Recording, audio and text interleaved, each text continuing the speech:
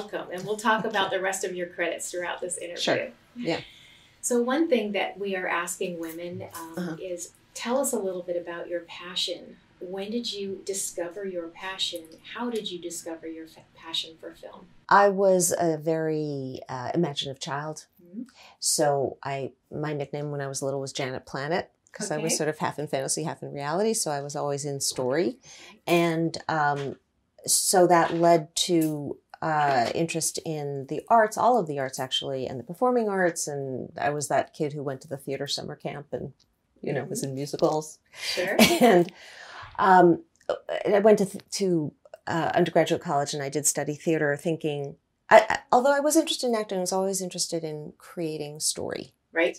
through performance arts. So I was really interested in making plays and writing, directing, acting, and I did that. I went to Wesleyan uh, in Connecticut, where they foster a lot of student initiated activity. Right. Um, the, the the real action on campus is the stuff that the students are doing with each other, as opposed to the faculty driven. Uh, like this is where Lin Manuel Miranda he created um, his plays. Um, and his musicals came out of that. I mean, we were different years, but that's the kind of environment. Yes. So, um, knowing that I wanted to continue to make theater, I then applied to graduate school and I landed in the dramatic writing program at NYU, a Mhm. graduate program. And when I arrived at NYU, I discovered that the program was tilted as much towards film and film writing as theater and playwriting, being that it's NYU and it has one of the most lauded uh, long term and robust film programs in the country. I started to go, huh, that's interesting. I'd never really thought that much about film. And within the years that I was here as a grad student, I became more um, interested in and awakened to the possibility of film and what you could do with the camera. And one thing led to another. And while I was a grad student, I ended up working at New Line Cinema. To put a little money in my pocket, I was reading scripts and doing what we call coverage in the industry, where you look at intellectual property such as books, screenplays, newspaper magazines, etc., and consider if they're um, appropriate to be turned into motion pictures. Anyway, so doing that freelance part time, they hired me full time, and I, for the next 10 years, grew as the company grew. And it went from being a scrappy independent that was doing high art and low art. We were releasing the early John Waters movies as well as, you know, French art cinema Right. to, to then releasing a feature that they produced called Nightmare on Elm Street. Mm. And so that changed everything. That changed their history. And I was really in the right place at the right time. And so as the company grew and they needed more um, help and staff to develop and oversee projects, I was really just smack in the middle of it. In the cinematic arts, well, in all of the arts, but certainly cinematic arts, technology, form, and content are so interlinked. Mm-hmm. And certainly the growth of the industry has everything to do with the, the change in the technology. Mm-hmm. So when you go from, for example, huge equipment, huge 35 millimeter cameras and equipments and lights that have to be set up in a studio, to then in World War II developing a camera that can be taken onto the battlefield and document war. And after that, you get new wave, French new wave, Italian um, cinema realism, because there's suddenly a camera that you can move around and you can leave the studio and go on location. Mhm. So you start to see how the aesthetics are changing with the technology. Right. So I was in independent film at a moment where another huge change happened in technology, which was the advent of video, Mm. right? So once you can start to distribute films in video versus in a movie theater proper, there's a whole new market. And so during the 80s, the 90s, when I was at grad school and then as baby executive in the world, there was suddenly this whole new revenue stream when people were buying video libraries. And we used to joke that you could sell a dentist home movie on a VHS because everybody was just so hungry to acquire libraries. And so suddenly there was this flow of revenue. And what are you going to do with it? So a lot more movies started to get made, and people started to roll the dice on emerging films and filmmakers. So I was really part of that wave that created opportunity for the emergence of the independent uh, cinema movement in America. It was like the second wave. The we think of the first wave of the golden age of American filmmaking in the 1970s. Right. We have the first newly minted filmmakers coming out of film schools like Coppola and um, Scorsese out of NYU, by the way. Right. Um, and uh, out of USC, you get Spielberg and um, all those guys. And I'm going to emphasize guys. Right. Right. And they come out and they start really working with film as the auteur, right? The pen, the author using the camera. And that's a really interesting wave. Then in the 80s, again, with the advent of all this new technology, you can start to globalize quickly and easily film, and then you get the advent of the blockbuster. So what's happening is as the studio films start getting bigger and more global, it's leaving an opportunity, a kind of a niche for the smaller personal ensemble stories that are character driven to emerge. Like that audience isn't being fed at the same by the studios at the same time that suddenly there's all this revenue mm-hmm. for independent films and filmmakers. Mm. At the same time that Robert Redford decides that he's very interested in supporting voices and visions outside of the Hollywood system, and he starts this little thing called the Sundance Institute mm-hmm. that starts to create opportunity for films and filmmakers and people with different kinds of stories to tell to get noticed at the time that I'm a baby executive. Wonderful. So there's this confluence Right. At the time that I'm thinking, you know, the off Broadway theater is, feels kind of stagnant, mm-hmm. and the off Hollywood, we used to call it off Hollywood films, seem really exciting. And then there's this guy called Jim Jarmusch and Spike Lee, who also come out of NYU, and they're doing really exciting films. Mm-hmm. And I'm there looking for films and filmmakers. Now, in terms of my personal story, I had been wanting to write plays and direct plays, and I was doing that as a graduate student but my interest starts to shift. So at the same time that I'm a baby executive at New Line Cinema, going to the first Sundance Institute film festivals and you know, seeing the movies of, you know, Jarmusch and Spike Lee and, and thinking, do they work for our company and acquiring them and being really, and New York City is an epicenter of this kind of really interesting uh, new movement versus LA that still is very much the Hollywood system while all this is going on, I'm also still getting some of my plays you noticed. Like I did a there was a reading at Playwrights Horizons, which is a well-known theater here, and I'm kind of thinking like, what am I doing? What am I doing? What do I want to do? And I'm getting more responsibility at New Line, and I'm able to actually produce some of the films of these emerging voices. And I remember it was I was getting on an airplane. It was 1991 and I was about to go to Sundance with a film that I had helped to produce at New Line at the same time that a play of mine had just had a reading at Playwrights Horizons. And I looked myself in the mirror and said, Janet, you have to decide. Are you going to step forward and tell your stories, or are you going to support other people telling their stories? Mm. I get on an airplane, I go to Sundance Film Festival. I go to I go to a party and I meet David O. Russell. Hmm. Life changes. Uh huh. Uh huh. Yeah, my life changed. Right.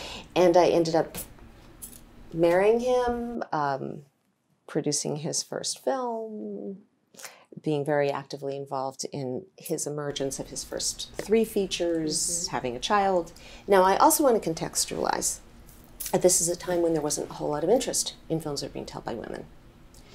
Uh, there was some interest in films being told by people of color, some interest because there was an identifiable market niche for mm. um, urban teenage movies, which, by the way, I was helping to pioneer. Right. When I was at New Line. So when I was at New Line, as all of this was happening over this decade of this wave of interesting new films and filmmaking, right. and I was in the right place at the right time and very supported by people who were who thought outside of the box because who else was going to give somebody like me a chance to do things? You know, it was a very entrepreneurial kind of, uh, you know, we're going to set the table, go. Right. Uh, the people who ran New Line were very uh, laissez faire in that way. Mm-hmm. They would identify, believe in you, and say, go, do, do, go. Mm. And if you brought it to the table and it worked, they were very happy. So it was a really interesting time that a lot of us were learning on the job and developing skills. Mike DeLuca was my, he started as my intern. Um, he's gone on to, you know, run movie studios and produce wonderful films like Social Network and uh, I forget all of Mike's credits. There's so many of them. It's he's enormously talented. Um, Toby Emmerich, who's now the president of New Line Cinema also started as on my staff. So there were a lot of us who were coming up during that time, tumbling around with each other with a lot of opportunity. And again, there was this flow of money that was coming from video, and then videos became DVD. And you got to think back, right? Right. Go put yourself in a time capsule. Right. The average. Per, and people were purchasing libraries. They weren't just Oh, yes, they renting were. them. They were They were proud of purchasing. it. Proud of it. That's right. That's right. And so you think about the average cost of a DVD or a, a video Right. was, you know, fifteen to thirty dollars.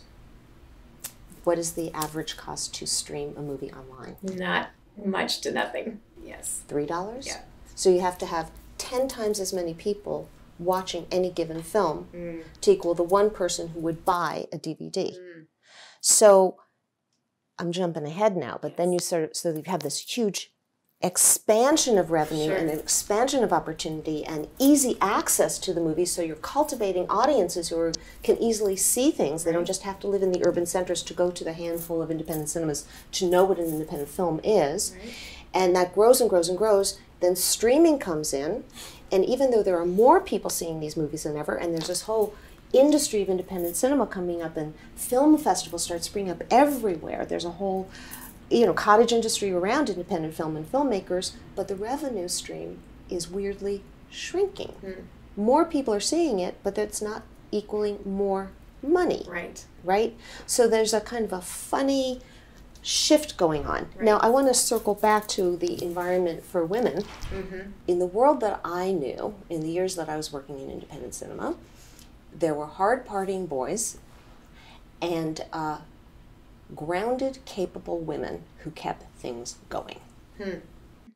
You know, it was not a healthy Yeah. situation, and it certainly wasn't a situation where, yes, you could be taken seriously in a support role. Only. Right. And during the years that I was an executive at New Line, and it was my job to identify emerging talent and films and filmmakers, I certainly tried to advance female films and stories. Right. I brought Nicole Holofcener and her first film, uh, Walking and Talking to the Table, pushed really hard for New Line to make it. Didn't happen, and Nicole Holofcener's gone on to have a beautiful career.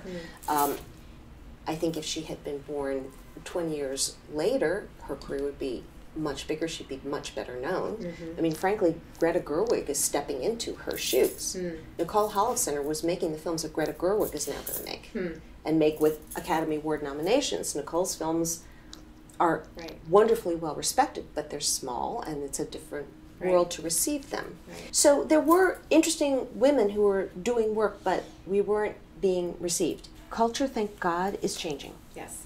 and not a moment too soon. So the Me Too movement, it's not surprising to me that the Me Too movement came out of a Hollywood situation. Mm. Because storytellers carry the genetic code of culture. Like stories are the, the DNA cell of culture. And stories are made by a certain kind of entertainment system. I call it the vast Hollywood international conglomerate entertainment system, right? You know, like there's the uh, military industrial complex, was the Hollywood industrial entertainment complex. Um, and independent film had always been in contrast to that. And still is. It's still kind of shifting and moving around. Um,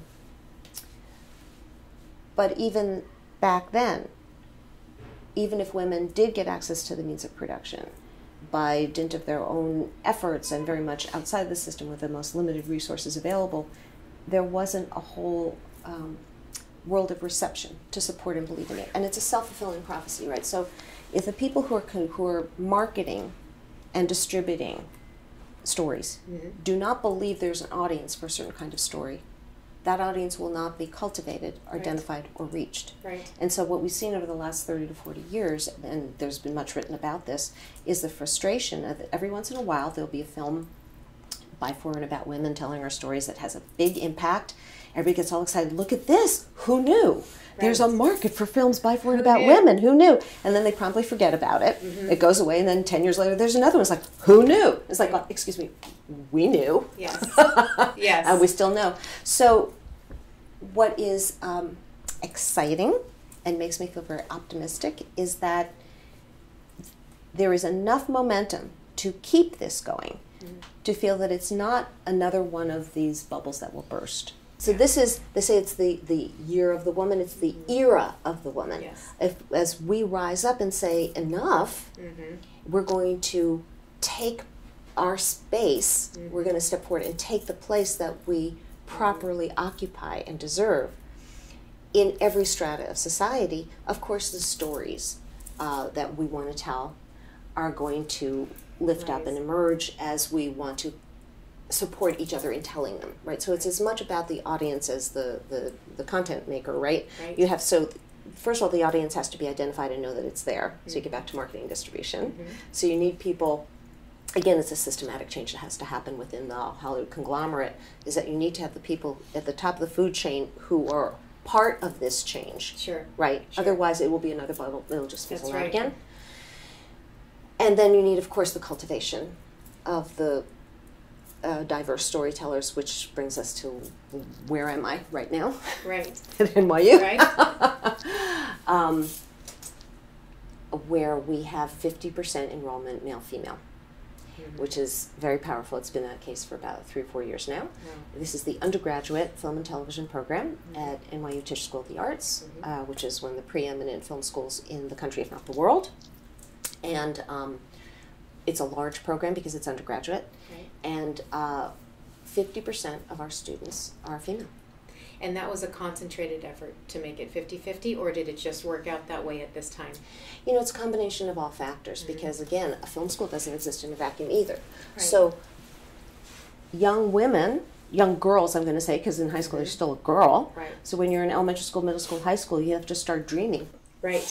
So, you have to be in a cultural context that is telling you you can dream this way Right. and helping you to shape this dream Yes. and support the dream. Then you to, to think that this is something you can even do. Right. Then you have to have parents Mm-hmm. and family and Mhm. community that is also supporting Yes. so that you can get this idea and pursue it so that you can even apply Yes. right so it's part of it is just the applicant pool Yes. so as culture has been shifting and we have women applying then we can accept them if they don't apply we can't accept them That's right. so it's a we're not existing vacuum. We're part of a larger society. Right. we shape it but we also reflect it. So it's very exciting to be here.